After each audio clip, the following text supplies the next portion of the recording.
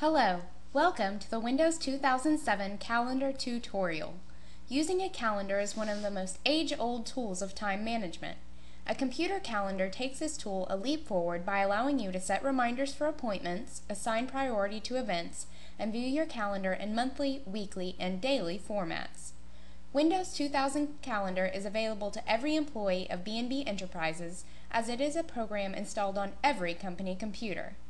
Windows 2007 Calendar is found by clicking the Start button on your computer, clicking All Programs, and then locating Windows Calendar within the program list. Once you have the calendar program open, you can create a new calendar by clicking on File and clicking New Calendar. As you can see, I already have a personal calendar, and you can create as many calendars as you wish. For the purposes of this training, though, I will name this calendar B&B Enterprises.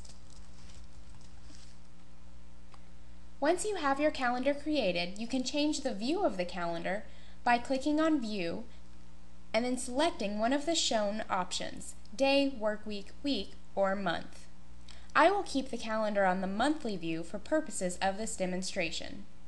To schedule an appointment, simply click on the day that your appointment is scheduled for, let's say the 20th, and click New Appointment. This will pull up a sidebar that will allow you to format the details of the appointment. Here, you can name your appointment,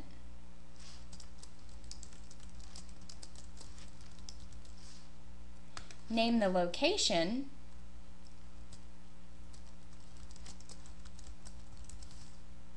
Choose which calendar you want this appointment to show up on. And finally, do extra appointment information. Here, you can schedule the times that the appointment will last. If you have an all-day appointment, simply click the all-day appointment bar. Otherwise, you can check from one day to another and signify which time your appointment will last.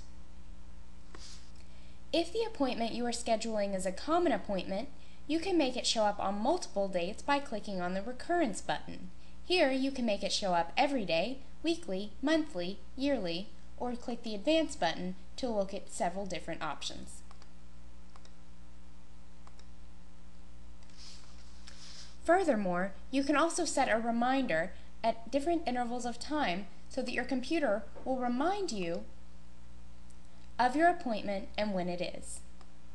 I have it set to two hours. Therefore, two hours before my appointment, my computer will notify me of the upcoming appointment.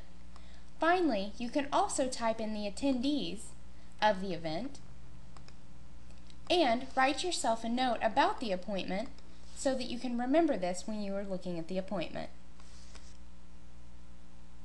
This process is exactly the same when scheduling a new task for which you would simply click New Task and go through the same process. This concludes the training on Windows 2007 Calendar. I encourage you to utilize this invaluable tool to help better manage your time. Thank you.